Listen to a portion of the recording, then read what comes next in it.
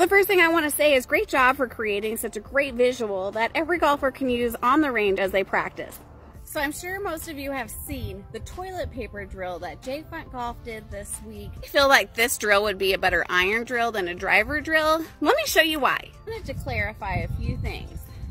I'm actually gonna start with an iron. So we're gonna take the toilet paper roll, we're gonna place it over the shaft with the toilet paper roll at the end.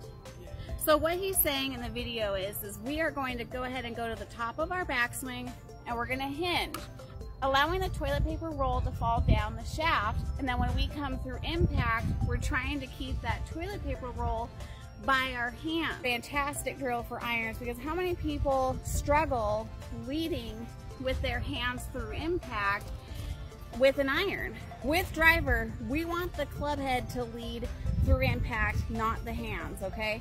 So I'm gonna put the toilet paper roll back on the club.